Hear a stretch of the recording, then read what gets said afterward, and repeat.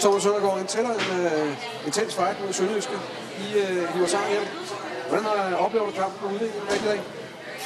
Den er tæt kamp. Øh, lidt frem og tilbage, så får vi et mål, så de et mål. Øh, powerplay bliver vigtigt i dag. Der er rigtig meget powerplay.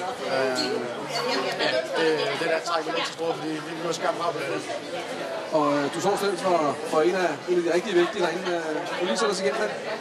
Vi får det var 5 mod 3 øh, der til sidst, ikke? Øh, vi, det er derfor, vi skal lige snakke hurtigt igen, og vi skal have, have flere skud på, på målet. Vi kommer til først, så får skud bliver rettet af.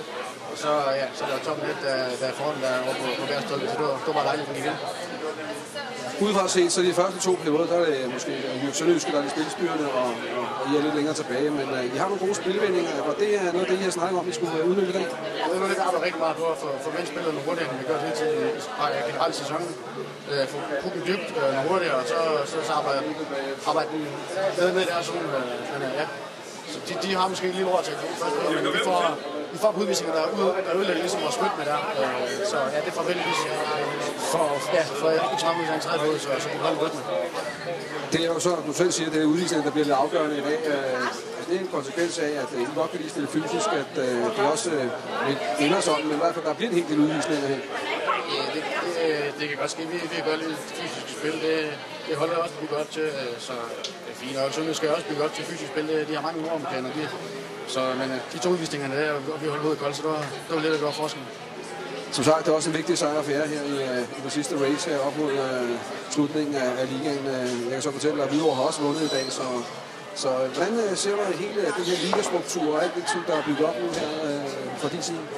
Så nu, når man spiller her, og man er lidt, lidt væk fra, fra tage på, det, ikke, så er det rart nok, men man har nok ikke for, for 10. pladsen. Det er med til at holde en skarp hele sæsonen, og, og ja, vi kan, kan risikere her at få, eller, få, få Sønderjyske i play-in her. Ikke? Det er fint, vi, vi får tre dage i hvert fald i forhold til uger, de Så ja, det er fint. Vi har noget kæmpe for. Og øh, Lena, som sagt, er der så nogle ting i nu her, de næste par kampe, her, som vi skal være lidt bedre til i forhold til den kamp, vi har spillet her i aften?